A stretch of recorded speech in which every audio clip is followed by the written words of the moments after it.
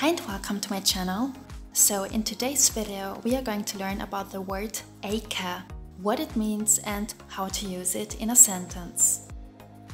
Eikä is a combination of the words ja plus a and it means and not. Let's take a look at one example. Hen ei puhu saksa, englantia means he or she neither speaks German nor English. So literally eikä means and not, but in English we rather say neither nor. But whenever we change our personal pronoun, the eikä can also change. Let's see what it means.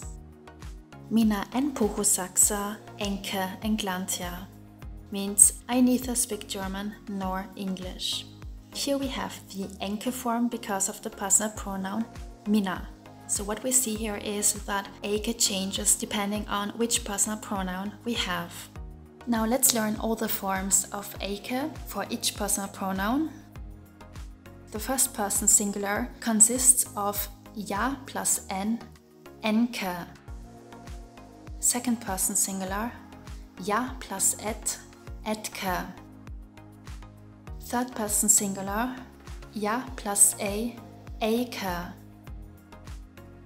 First person plural, ja plus emme, emmekä. Second person plural, ja plus ette, ettekä. Third person plural, ja plus eivät, eivätkä. So we see which kind of eikä we have to use depends on the personal pronoun. Let's practice a bit.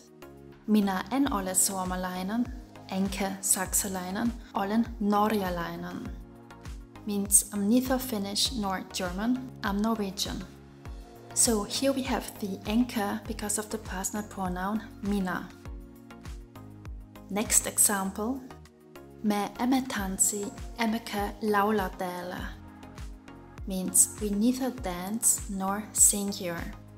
So here we use emmekä because of the personal pronoun me. And that's all we need to know about this topic. Thank you for watching. If you like this video, please consider to subscribe and see you next time.